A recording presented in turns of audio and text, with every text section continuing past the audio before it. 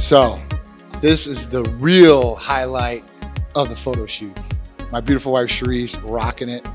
And you know what? She is the original Titanette. She's the queen of the Titans. And uh, at that point, she always rocks it. There's nobody that I would place in her place to represent our company than her.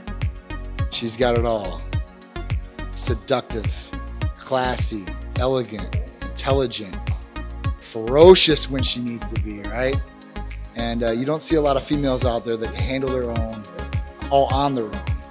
So at that point, it's uh, it's really nice to have my beautiful wife of 16 years, and I get to work with her every single day, make it look easy.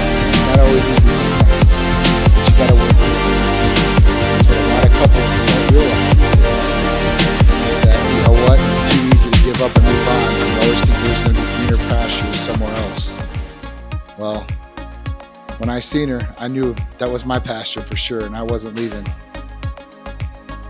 So look at her rock, especially this awesome Titan dress. And I always call Sharisse, she's like the wolf in sheep's clothing.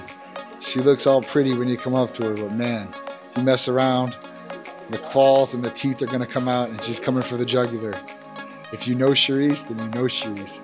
And if you don't, you might have your judgments about her. But she's got a heart of gold. She's finally having a little fun. It's good to see my wife smile.